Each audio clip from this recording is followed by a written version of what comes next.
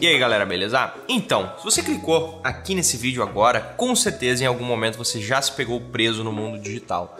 E não importa o quanto você se esforce, quando você menos percebe, se encontra vagando que nem um zumbi pelas redes sociais, né? E pior ainda, quando você tenta proativamente evitar esse comportamento, acaba sentindo uma ansiedade muito grande. Porque pensa que talvez tenha chegado uma mensagem muito importante de algum familiar seu em alguma das suas redes sociais. Mas antes, se você é novo por aqui, não esquece de se inscrever aqui no canal para não perder os vídeos novos. Enfim, se deparando com essa situação, você percebe o que é óbvio, né? Que é preciso tirar um tempo para fazer um detox digital. Férias da internet ficar longe por um determinado tempo desse ambiente para conseguir manter a nossa saúde mental. E olha, pode até parecer simples dar um intervalo nas mídias sociais e no meio digital como um todo, mas se você já tentou, você já descobriu que é mais desafiador do que você pensa. Como eu disse anteriormente, a sensação de ansiedade ao ficar longe dos aparelhos eletrônicos é muito grande e é praticamente constante. Né? As plataformas que a gente usa, elas são projetadas para nos fazer despejar o máximo de tempo possível dentro delas. E por isso, o algoritmo está sempre em evolução para, basicamente, deixar a gente viciado, querendo ficar cada vez mais ali dentro. Mas então, qual que seria a melhor forma de fazer um detox digital? O primeiro ponto parece ser muito simples, mas faz toda a diferença, que é fundamental mover os seus aparelhos eletrônicos para um lugar diferente. Evitar ficar próximo do seu celular, do seu tablet, até do seu smartwatch ou qualquer outro dispositivo que te entregue notificações com frequência durante esses momentos que você quer focar, seja no seu trabalho ou nos estudos. Então joga ele numa gaveta ou deixa longe num armário que você esquece dele rapidinho. E se você está incomodado em ficar vendo qualquer coisa tarde da noite, deitado na cama, coloca o aparelho para fora do seu quarto. Isso é uma dica chave. Eu sempre que vou dormir, eu pego meu celular e coloco na sala carregando no primeiro andar da minha casa. Aí você vai me perguntar: "Ah, mas Pinho, eu uso o celular como despertador, então não posso deixar muito longe porque senão eu não acordo". Mas é muito pelo contrário. Como eu disse, eu deixo o meu celular na sala. Então, no outro dia de manhã, quando o despertador toca, eu tenho que levantar a cama, descer as escadas e ir lá embaixo para desligar o meu despertador. E automaticamente isso me ajuda a acordar mais facilmente, porque eu já estou descendo as escadas ali ficando meio atucanado. Então, procura colocar o celular fora do seu alcance, mas que ainda assim você consiga ouvir o despertador e acordar de fato, né? Isso vai te ajudar a levantar mais fácil da cama. Ou então, busca até uma nova velha solução, que é usar um alarme, um despertador analógico próprio para isso. Né? E seja qual for a sua decisão, em qual momento do seu dia você vai focar em promover esse detox digital, é importante se livrar das principais fontes de notificações e de rolagem de timeline ociosa que, que, praticamente sugam e te prendem ao seu celular, ao seu computador. E outro ponto que é muito importante é dar uma filtrada no que aparece nas suas timelines, nas suas diversas redes sociais. Afinal, se você quer permanecer conectado nas redes sociais, tudo bem.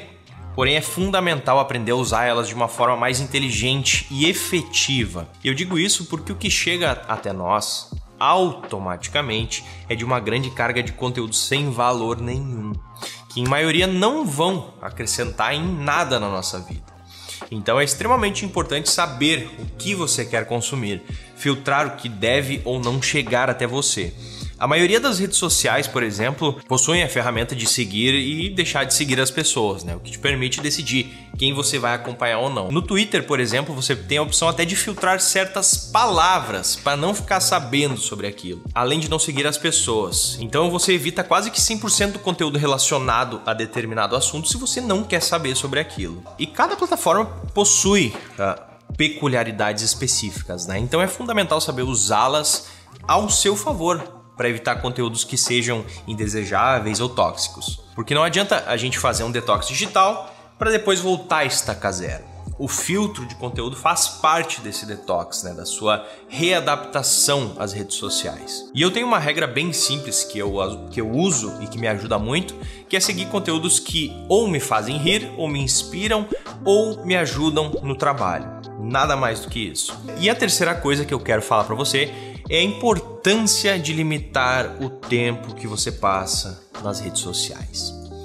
E nos aparelhos eletrônicos de forma geral. Muito provavelmente o seu celular já tem alguma espécie de recurso de saúde digital, né, que te permite limitar o tempo de acesso a qualquer aplicativo que você tenha instalado no seu computador ou no seu celular. Ou então só acompanhar o tempo que você despeja ali dentro. Né? E o que a gente quer aqui não é simplesmente parar, cortar tudo de uma vez só e não usar mais a tecnologia como um todo. O ponto que a gente precisa chegar é não jogar mais 4 horas rolando o feed só do Instagram, mais duas no TikTok, mais 10 horas no YouTube todos os dias. Então, para tornar o detox menos estressante, é interessante a gente criar limites e separar momentos do dia para consumir conteúdo por um intervalo curto de tempo. Eu, por exemplo, deixo no máximo uma hora por dia para consumir as redes sociais. E dentro desse limite eu ainda tenho que postar as coisas que eu posto nas minhas redes, né? Então tem que cuidar para não estourar esse tempo e depois eu não consigo mais, tem que fazer uma função para acessar o aplicativo de novo. E para fechar, caso você ache que não está tendo a disciplina suficiente para cumprir com todo esse planejamento e acredita que deva ser tomada uma medida mais extrema, a solução mais lógica é excluir os aplicativos do celular, de uma vez por todas, né? os que te drenam mais tempo. Porque eu já testei fazer isso algumas vezes e a gente se adapta até que bem rapidamente, em poucas horas, né? Porque de início você pega o seu celular para checar o aplicativo, daí você vê, pô, nem tem mais o aplicativo aqui. E automaticamente o seu cérebro já te fala assim: pô, nem era para te estar usando o celular, sai daí. Então tu já bota lá de volta. Isso dá umas 4, 5 vezes até você já nem pensar mais em pegar o celular. Né? Então são checadas fantasmas que você dá e que daqui a um pouco já diminui o ritmo. E é importante deixar claro que as redes sociais e o meio digital como um todo não são ruins, muito pelo contrário. As redes sociais elas são muito incríveis e podem te conectar com pessoas muito bacanas que podem mudar completamente a sua vida. Ruins são os usos que são feitos dessas ferramentas como um todo. Então, como eu disse anteriormente, é fundamental ter um uso proativo e efetivo dessas plataformas, né? Então, usar as redes com consciência vão te ajudar a ter uma clareza e saúde mental que você nem imaginava que fosse possível conseguir. Mas então, eu espero que vocês tenham gostado desse vídeo. E se você gostou, não esquece de comentar aqui embaixo o que você achou e quanto tempo você passa por dia nas redes sociais. E também não esquece de deixar o seu like e se inscrever no canal se você for novo por aqui. Então a gente se fala logo mais e valeu. Não tinha dado certo.